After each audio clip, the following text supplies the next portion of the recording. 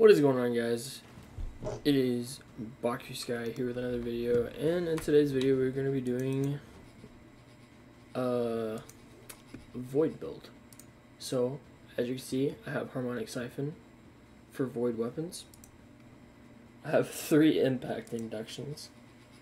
Emergency reinforcement, font endurance is for survivability, recuperation, innervation, and then we have three outreach. And basically, this will all be paired up with. Let me grab it. There's my front web. Um, alright. So with this build, you're going to be able to spam your abilities really fast. As you can tell, the cooldowns are crazy um, especially with Child of the Old Gods. It'll be that much better.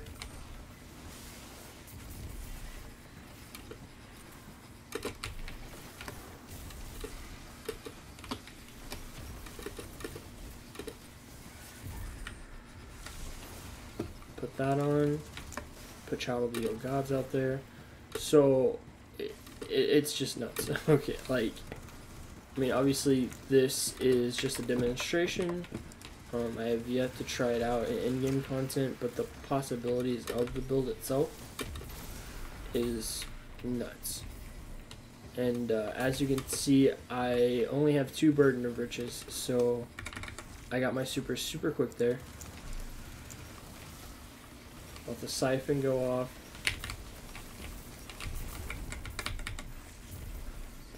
And you could just continuously spam builds. Or abilities my apologies.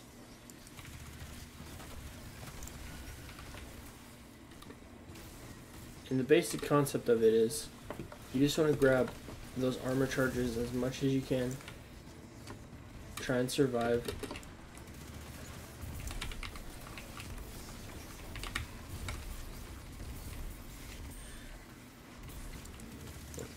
Also, another part of it, oops, let me get out here. There's a lot of explosions happening. Let me get this one down.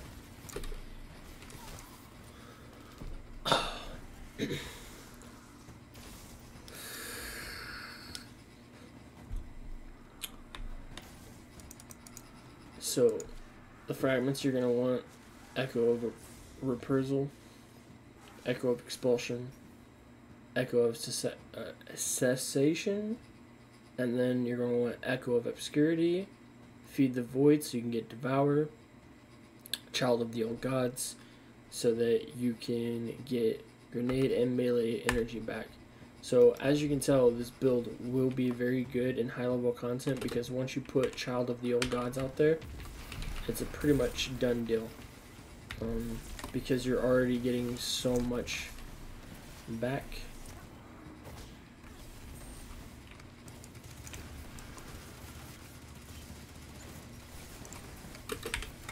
Anyways, that's the end of the video. If you guys liked the video, please hit the like button, subscribe, and I'll see you guys in the next one.